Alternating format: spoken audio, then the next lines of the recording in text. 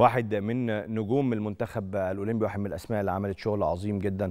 واحد من اللعيبة اللي بيقولوا عليها بين قوسين يعني بوتنشال جدا أو لعيب واعد جدا جدا سواء مع نادي الزمالك أو مع منتخب مصر الأولمبي وبإذن الله مع المنتخب الأول في الفترة القادمة. كابتن محمد طارق مدافع المنتخب الأولمبي ونادي الزمالك. كابتن محمد مليون مبروك التأهل للاولمبياد شرفتونا ورفعتوا راسنا.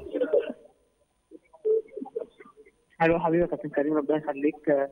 والله الحمد لله إحنا تعبنا عشان علشان اللحظة دي. بس والله العظيم كان نفسنا نرجع بالبطولة ظروف الماتش ما ساعدتناش بس الحمد لله. لا هو ظروف الصعود وبشكر الرجالة والجهاز الفني. آه. يعني من أول ما اتجمعنا في شهر تسعة وإحنا على الهدف ده إن إحنا نصعد الأولمبياد ونحافظ على اللقب.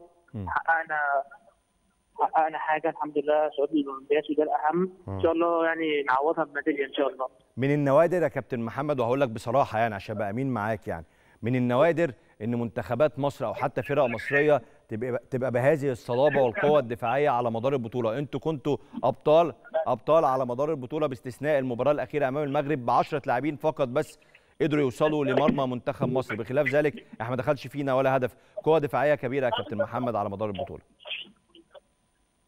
والله الحمد لله إحنا يعني بشكر الجهاز طبعا على التمرينات. دي, دي يعني حاجات إحنا بنتمرن عليها من أول المهاجم لحد حمزة. امم يعني واحدة. يعني لو قدام ما ضغطوش كويس. إحنا ورا هنبقى مش مش كويسين. إحنا كلنا مجموعة واحدة بنشتغل مع بعض مش الدفاع بس والله. امم والحمد لله يعني إحنا كان هدفنا والله إن إحنا نكمل البطولة كلها فينا أهداف. امم وطول إحنا عندنا يعني يعني مقولة ماشيين بيها مم. هو طول ما إحنا مش بندخلش فينا جوال. آه، ممكن نجيب جون في أي وقت. ان إحنا هاديين في الملعب و... وإن شاء الله هنجيب جون بتعبنا. بس الحمد لله يعني الماتش الأخير يعني كان نفسنا ننهيها بطريقة أحسن من كده. مش بس مشكله الحمد لله والله ما حدش اثر صح.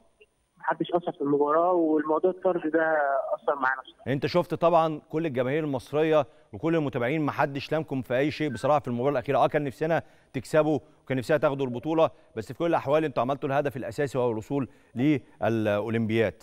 عايز أسألك على حاجة يا محمد وأنت موجود بقى جوه الفرقة. أنا لاحظت حاجة مهمة جدا إن إحنا كنا بنصوب كتير من خارج منطقة الجزاء. هي دي كانت تعليمات وكنتوا بتتدربوا عليها كتير. التصويبات كمان كان فيها دقة كبيرة جدا من كل اللاعبين.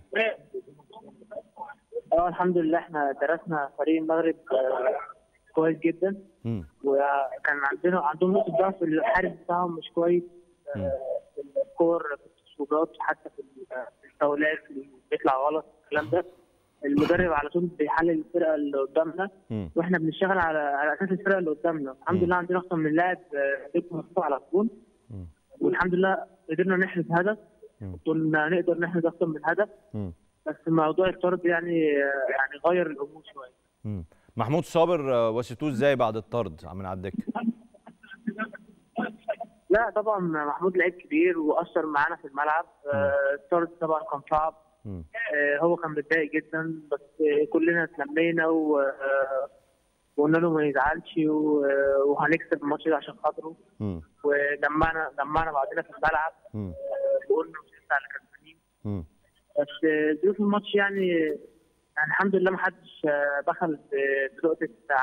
الملعب مم. والنتيجة بتاعت ربنا. صحيح صحيح. محمد انت المفروض هتبقى مع الزمالك في مباراة القمة إن شاء الله يوم الخميس؟ آه إن شاء الله. إحنا راجعين الصبح إن شاء الله الطياره بتاعتنا بالليل آه، آه. الساعة 8 الصبح كده. آه. هناخد بقية اليوم راحة وإن شاء الله موجودين في التمرين يوم الثلاث وبعد كده تنضم للمعسكر على طول معسكر مباراة القمة. ان